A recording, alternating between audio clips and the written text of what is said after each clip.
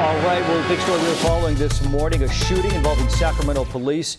It happened last night near the Blue Diamond Growers at 16th and C Streets. So we'll check in with Rachel Wolf. She's near D Street with the latest on the investigation as well as the road closures that are now in effect. Good morning, Rachel. Good morning. No time as to when this will reopen. 16th Street shut down between A and D. As you can see here behind me, this investigation still ongoing.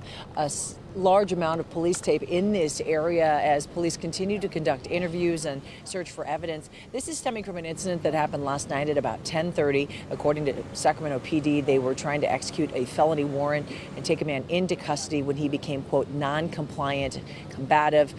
One Sacramento police officer discharged his weapon. We are told that the suspect was hit, that they were injured, that man taken to an area hospital where he is expected to recover. Non life threatening injuries is what we're told.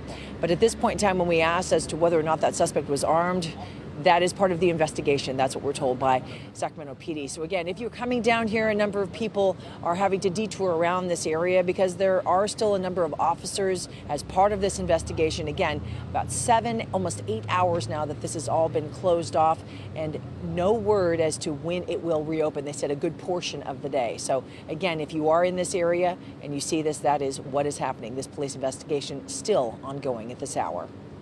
All right, Rachel Wolf live for us this morning. Thank you, Rachel.